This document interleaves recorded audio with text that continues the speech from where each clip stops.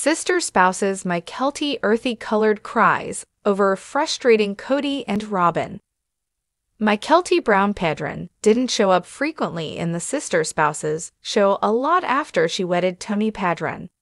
Be that as it may, in late seasons, Krasin's girl and her significant other have as of late been on more.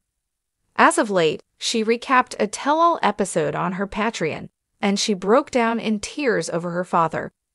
Kody Brown made her cry, and she appeared to be wounded by Robyn. Besides, the tender loving care star likewise dished some tea about Mary Brown. Mykelti earthy colored dishes, some tea on sister spouses cast. Similar as her more youthful sister, Gwendlyn, Tony's significant other runs a Patreon account. While she isn't so famous as Gwen, she gets a considerable amount of devotees since she neglects some data once in a while. For instance, she said that Robyn holds down a task. Notwithstanding, some sister spouses fans could do without that. She was by all accounts so agreeable towards Kody's final wife. Interest got significantly when Mykelti Brown flipped on Robyn in October.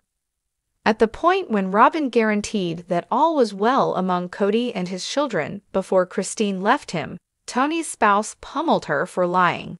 Thus, things appeared to have soured. Positively, season 18 appears to have featured the excruciating troubles of polygamous life. Mykelti Brown Padron cries over Kody Brown.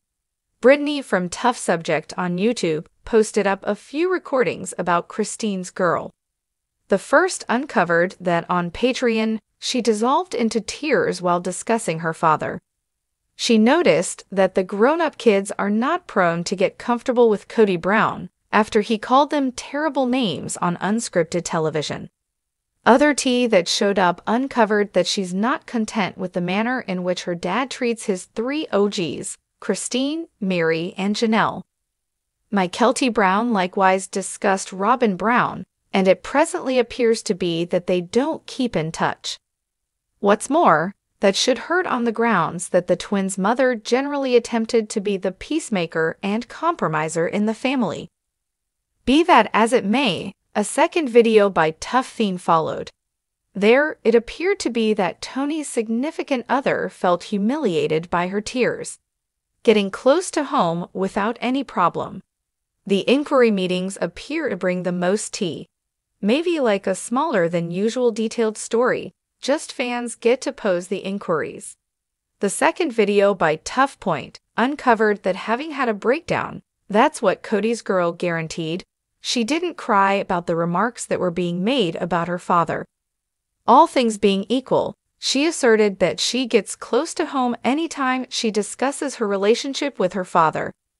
The sister spouse's star is by all accounts exceptionally tangled by her dad, presumably similar as different kin who feel hurt by Kody. The thing that matters is that she needs to allow Kody another opportunity.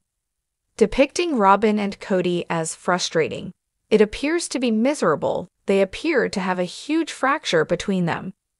On a side note, discussing the claims of maltreatment by Mary, she uncovered that season 18 of the show almost didn't occur, so she needs to attempt to watch out for how much tea she spills on Patreon.